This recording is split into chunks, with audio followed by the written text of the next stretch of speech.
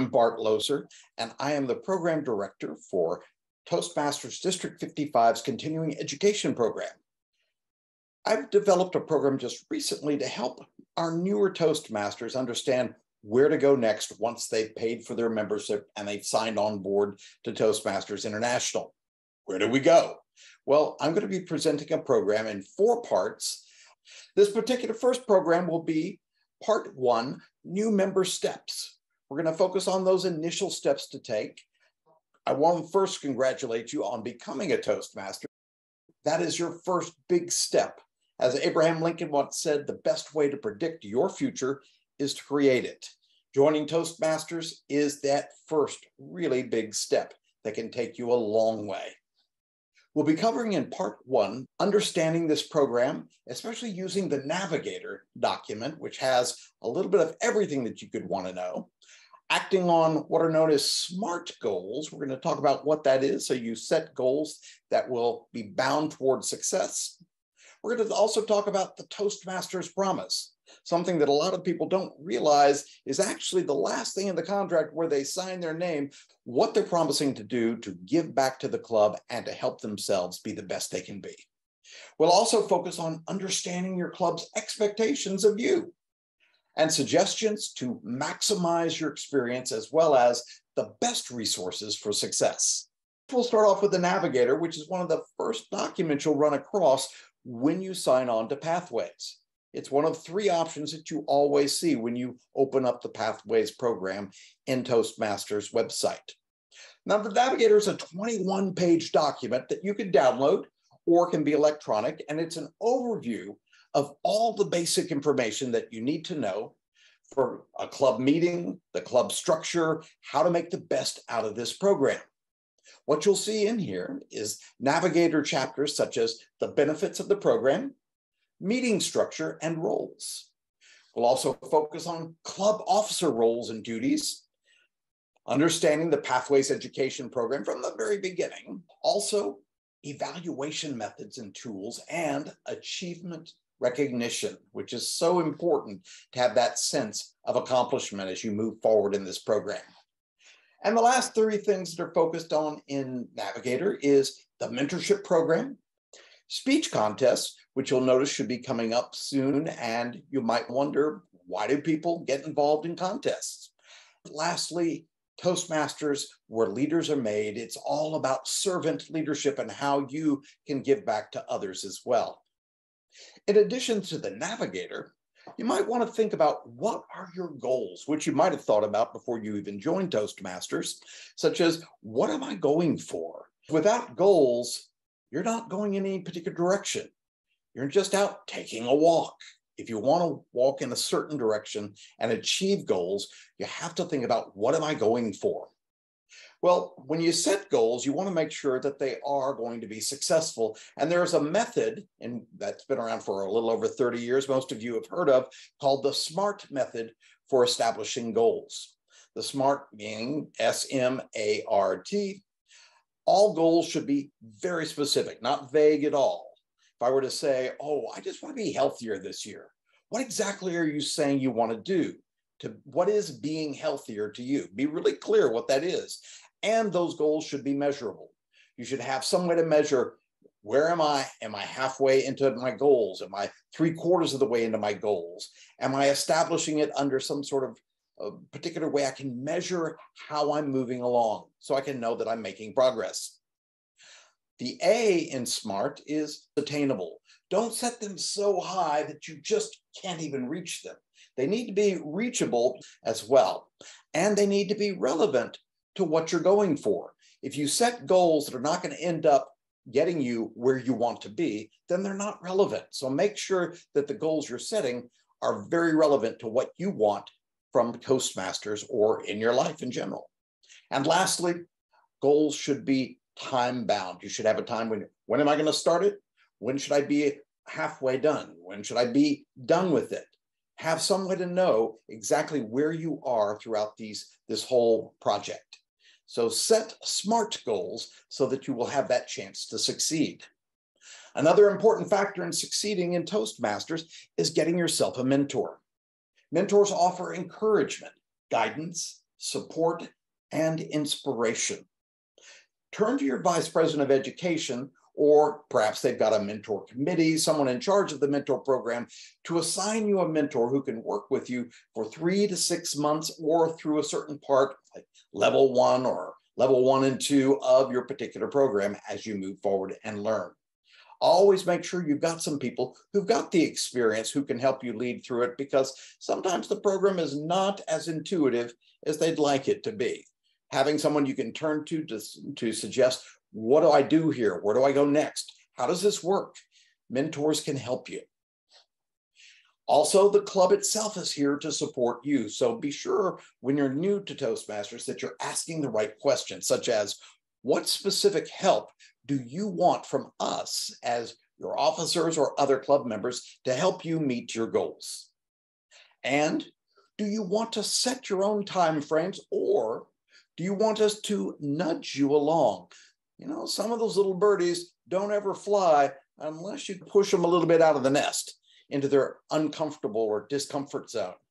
A lot of people don't want to go there, but in Toastmasters, that's what it's all about is stepping into your discomfort and doing it anyhow and learning from the experience. Sometimes you need people to nudge you along the way.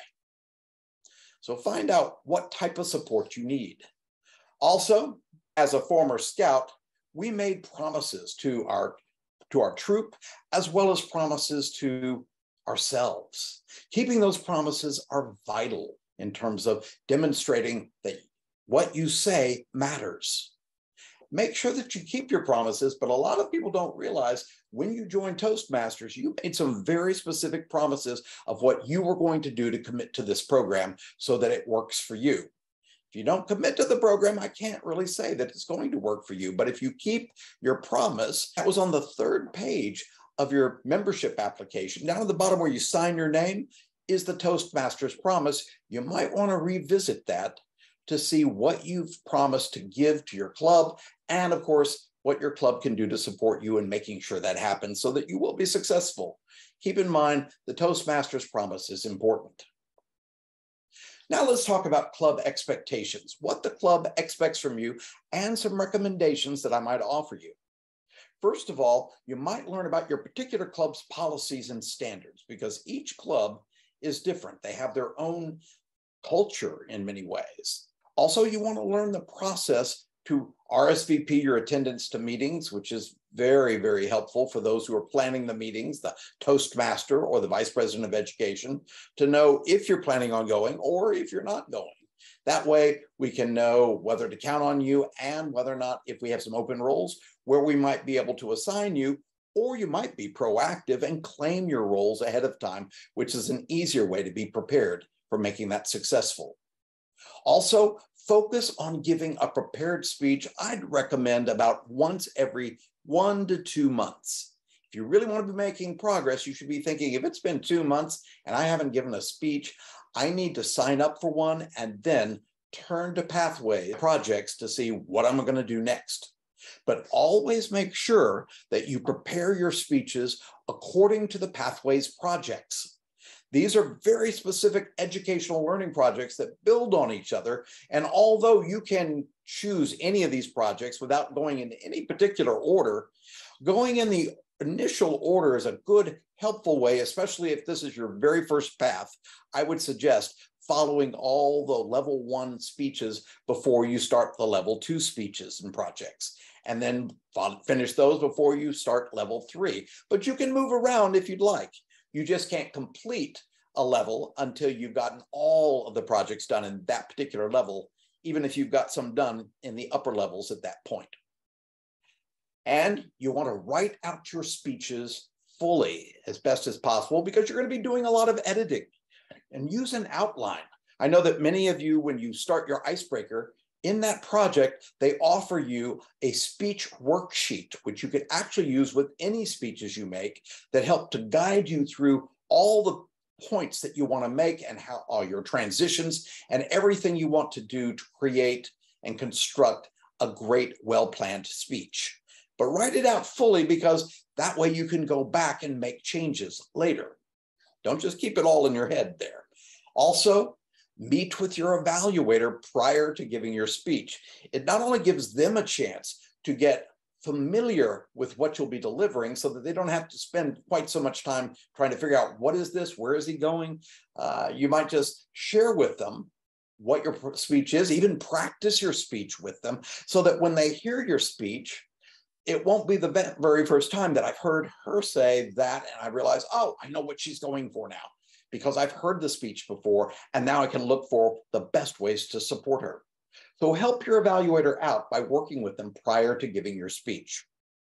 And lastly, consider giving speeches multiple times.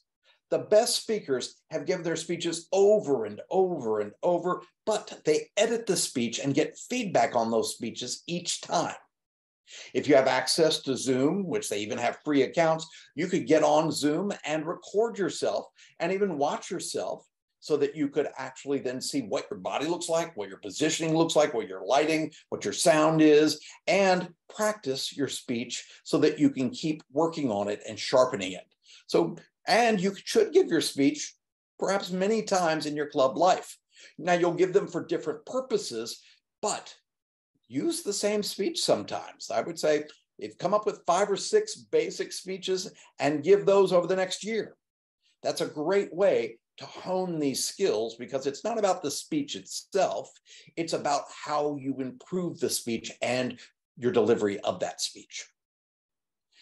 We have lots of program resources that are help you along in your Toastmasters journey. First, I want you to make sure to turn to your club officers as some of your best, most experienced resources. Also, your mentor can be an excellent resource to help you or any experienced Toastmaster they can help you in getting this done. Toastmasters.org has tremendous resources, sometimes almost too many resources. But what I would suggest doing is go to the Toastmasters.org page and learn what's behind each of the tabs that are up at the top of the homepage. There is so much information just in that alone. You can get tremendous knowledge and help from almost anything you need to know about Toastmasters just on that homepage behind those tabs. Also, if you have any particular problems, Toastmasters has one of the best customer service agents anywhere you can imagine. Always be willing to call Toastmasters International's telephone number to get assistance if you need help with your club, membership, or whatever it is. Any question you have, you could get answered on the phone by them as well. Also, your district has tremendous resources on their websites.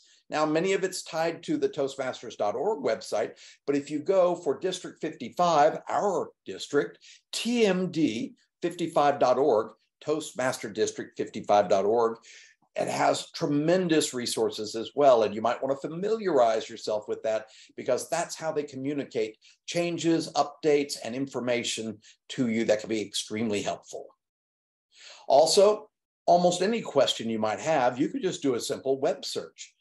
It's amazing how many individuals and clubs and districts have come up with tremendous resources of their own that they make and then share to others in Toastmasters. So almost any question you might have could probably be found by just doing a simple web search.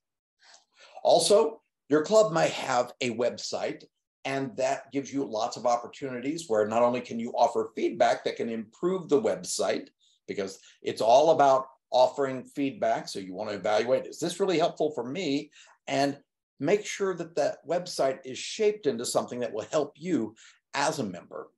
So always be willing to give feedback for your club's website improvement, but you want something that will have some helpful answers for you there as well. Now, many clubs have a Facebook page, an Instagram page, a LinkedIn page, many different types of ways in which they communicate with people. Get to know these resources and how to best use them to help you. Your club may also have a newsletter. Our district has a newsletter. Toastmasters International has a newsletter. They even have monthly magazines that you can access on the homepage of Toastmasters.org. And those go way, way back. So lots of great articles and learning opportunities that you can get from the Toastmasters magazines, which these articles are just written by other Toastmasters. So you can learn a lot from others. And find help from anyone in your club. Your just your friends from Toastmasters can help you. Almost anyone in the Toastmasters organizations can help you to make the best use of this program.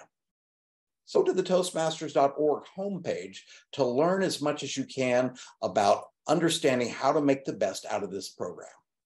The Toastmasters website has tons of great information that are out there. It can be a little intimidating, but once you learn by logging in and looking at all the tabs and information that's available to you, including you could find other club meetings because once you're a Toastmaster, you can go to any meetings anywhere. And given that most of these meetings are still being done by Zoom or they're hybrid meetings. You could go to clubs anywhere in the world at any time of the day. You just need to find a club. And if you go to one of the smaller clubs, you could even walk in there with a speech or sign on and say, Hey, I've got a speech I'd like to give. I noticed you guys only have one speech today. Would it be possible to give a speech and get it evaluated? And there's a good chance you can do that with the smaller clubs. So take advantage of all the great opportunities that Toastmasters has to offer you. Once you sign in to the Toastmasters website, you'll notice the welcome your name there. And you could actually go up there and click on that, and you could see your Toastmasters profile. Inside your profile, it gives you such information on how to go to your base camp to get your pathways programs you could choose a new path if you wanted to add another one, although every time you finish a path, you do get a complementary path. So, and I would say probably just focus on the one path unless you're a real go getter and want to have a bunch of different paths to follow.